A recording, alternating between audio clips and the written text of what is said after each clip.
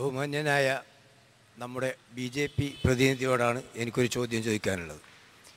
എന്റെ മകൾ എന്റെ മകൻ രണ്ടുപേരും വീട് കെട്ടിയിരിക്കുന്നത് അടുത്തടുത്താണ്.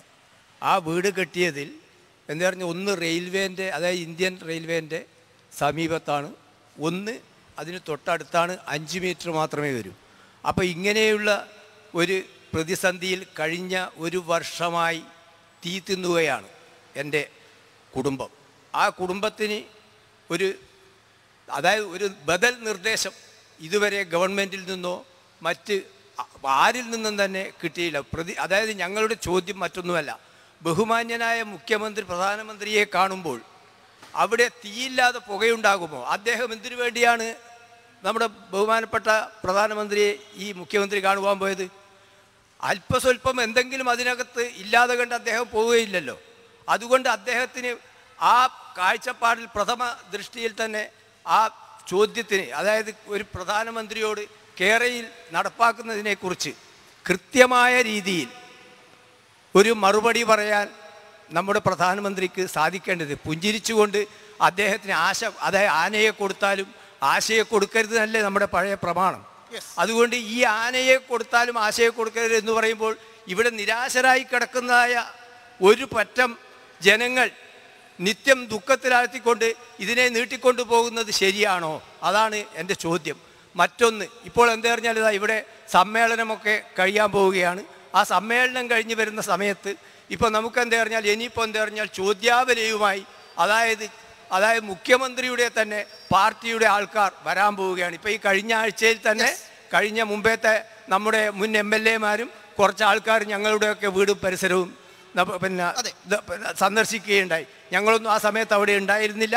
പക്ഷേ ചില വീടുകളിൽ പോയി അവർ ഇത് അതായത് ഞങ്ങളിത് നടപ്പാക്കുക തന്നെ ചെയ്യും എന്നുള്ളതായ അടിയുറച്ച രീതിയിൽ അവരെ ജനങ്ങളെ ബോധ്യപ്പെടുത്തുമ്പോൾ ജനങ്ങൾ വീണ്ടും ആശങ്കാകുലരാകുകയാണ്. ധൈര്യം എന്താണെന്നാണ് അതിന് അതിന് എന്താണ്? നിങ്ങളുടെ നിന്നുള്ള പ്രതിവിധി എന്നാണ് എനിക്ക് ചോദിക്കാനുള്ളത്. മറ്റൊന്ന് നിങ്ങൾ പിഴുതെറിയും എന്ന് പറയുന്ന കല്ല്. ആ.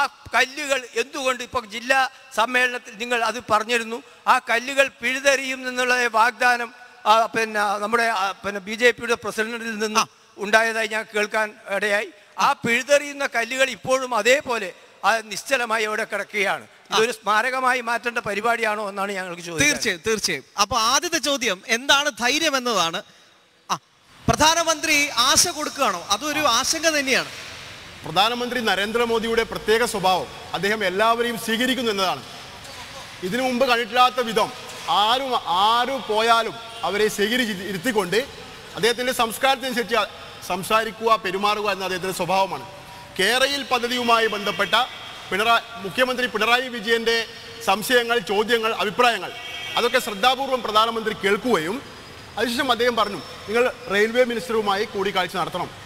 അങ്ങനെ റെയിൽവേ മിനിസ്റ്ററുമായി കൂടിക്കാഴ്ച നടത്തിയതിനു ശേഷം അന്ന് വൈകുന്നേരം രാജ്യസഭയിൽ പിണറായി വിജയൻ സാറിന്റെ ചെവിയിലല്ല രാജ്യസഭയിൽ ലോകം മുഴുവൻ കേൾക്കുന്ന രീതിയിൽ ഈ രാജ്യത്തോടും പിണറായി വിജയൻ മുഖ്യമന്ത്രി പിണറായി വിജയനോടും കേരളത്തിലെ ആളുകളോടുമായി നമ്മുടെ ബഹുമാനപ്പെട്ട കേന്ദ്ര റെയിൽവേ വകുപ്പ് മന്ത്രി പറഞ്ഞത് ഈ കേരളം സമർപ്പിച്ച സിൽവർ ലൈൻ എന്ന കേരയിൽ പദ്ധതി വളരെയേറെ സങ്കീർണകൾ നിറഞ്ഞതാണ്. അത് നടപ്പിലാക്കാൻ ഒട്ടനവധി പ്രശ്നങ്ങളുണ്ട്. അതിനർത്ഥം അദ്ദേഹം വിശദമായി അസന്നിഗ്ധമായി പറഞ്ഞു ഇപ്പോഴത്തെ നിലയിൽ ഈ കേരയിൽ പദ്ധതിയുമായി സർക്കാരിന് മുന്നോട്ട് പോകാനാവില്ല. അതിനുശേഷം അദ്ദേഹം പറഞ്ഞു ഈ കല്ലിടലുമായി ബന്ധപ്പെട്ട്. എന്താണ് ഈ കേരള ഹൈക്കോടതി പറഞ്ഞത്? ആരാണ് കല്ലിട നിങ്ങൾക്ക് അനുവാദം കേന്ദ്ര ഗവൺമെന്റ് പിറ്റേ പിന്നീട് രണ്ടു ദിവസം കഴിഞ്ഞപ്പോൾ പറഞ്ഞു കേർ- കോടതിയിൽ സമർപ്പിച്ച സത്യവാങ്മൂലം കേന്ദ്ര ഗവൺമെന്റ് സാമൂഹ്യ ആഘാത പഠനത്തിനോ കല്ലിടലിനോ സർവേ നടത്തുന്നതിനോ അനുമതി കൊടുത്തിട്ടില്ല. ഇതൊക്കെ കോടതിയിൽ പറഞ്ഞ റെക്കോർഡിലാണ്.